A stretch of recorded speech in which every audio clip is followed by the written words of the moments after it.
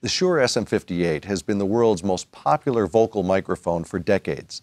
Shure's Chad Wiggins is here with us to talk about the facts and fiction of this legendary mic. Chad, thanks for being with us. Thank you, Chris. Now, once in a while you hear someone say that the SM58 uses old technology. What's really the story there? Well, the SM58 is based on technology from the 30s that Shure pioneered with the original Unidyne cartridge. And every other dynamic microphone, unidirectional dynamic microphone today, is based upon that technology.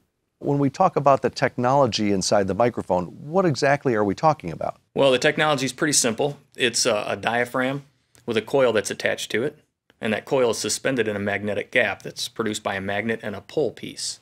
And as sound pressure strikes the diaphragm, it moves up and down, and the coil moves in that magnetic gap, and it induces a voltage. So every dynamic microphone is based upon that operating principle.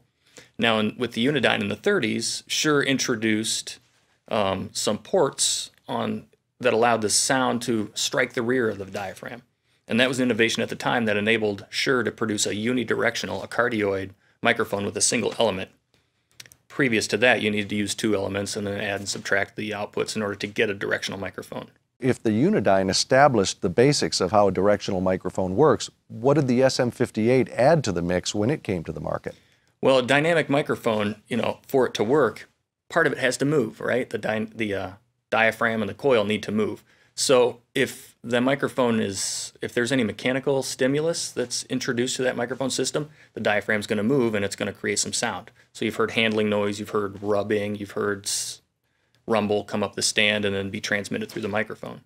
In the 60s, Shure solved that with the introduction of the pneumatic shock mount, which is a very sophisticated system that hasn't been duplicated by any other competitor to this point.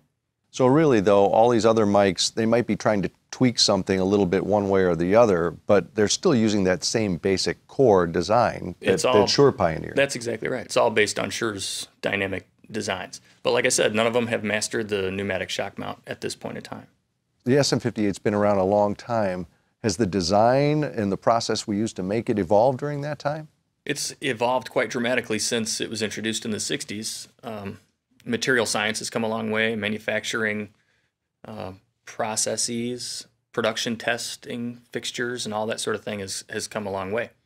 And as the SM58 is an extremely important part of Shure, we've taken every advantage of all those technology innovations and applied those to the manufacturing process and in some cases the design of the SM58.